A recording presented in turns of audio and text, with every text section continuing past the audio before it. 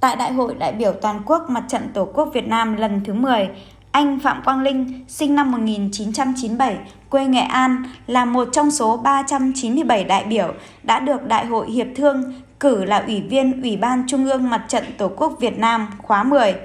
Tại đại hội, Phạm Quang Linh là đại biểu đại diện cho khối kiều bào Việt Nam ở nước ngoài. Anh Quang Linh chia sẻ, đây là một vinh dự lớn lao mà bản thân chưa từng nghĩ đến. Anh bày tỏ sẽ cố gắng hơn nữa làm tốt công tác xã hội, hỗ trợ cộng đồng, xây dựng hình ảnh đất nước Việt Nam ở nước ngoài để không phụ lòng tin tưởng của mọi người.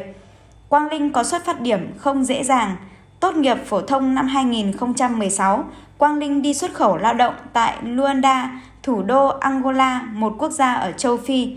Ban đầu, công việc của anh thuộc ngành xây dựng, sau đó chuyển hướng sản xuất đá lạnh bán cho ngư dân, người dân trong thành phố Luanda.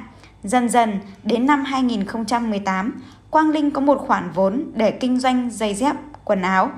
Năm 2018, anh cùng 4 người bạn Việt Nam và 5 người Angola lập ra đội Team Châu Phi để ghi lại cuộc sống thường ngày.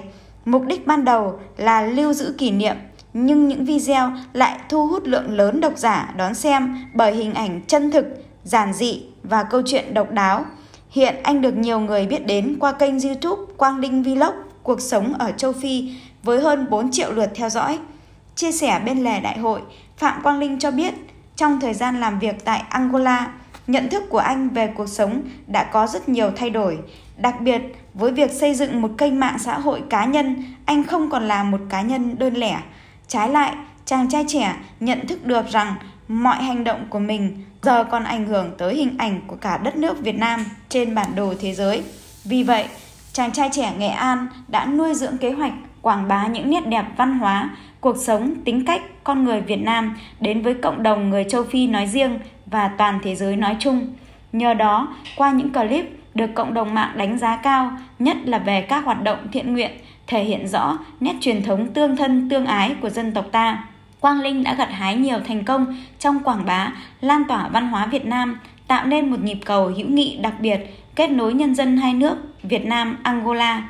Không những vậy, loạt sản phẩm truyền thông của chàng trai trẻ còn góp phần truyền cảm hứng mạnh mẽ cho nhiều bạn trẻ, nhóm bạn trẻ có đam mê với công tác tình nguyện vì cộng đồng ở cả trong cũng như ngoài nước.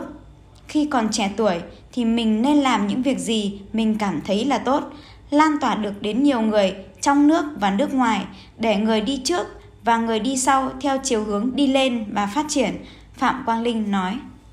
Thank you